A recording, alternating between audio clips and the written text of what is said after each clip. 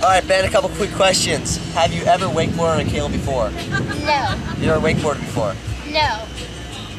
How much do you love wakeboarding now? Uh, it's probably my.